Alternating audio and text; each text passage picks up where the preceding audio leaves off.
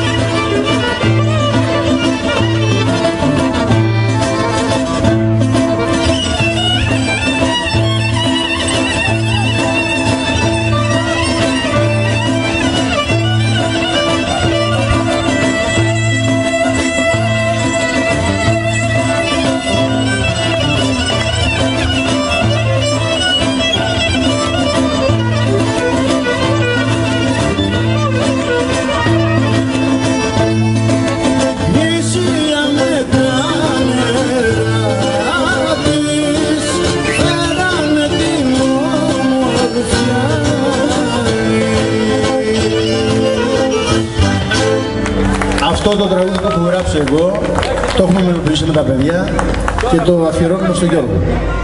Μπράβο το τσιγάρο. Εντάξει.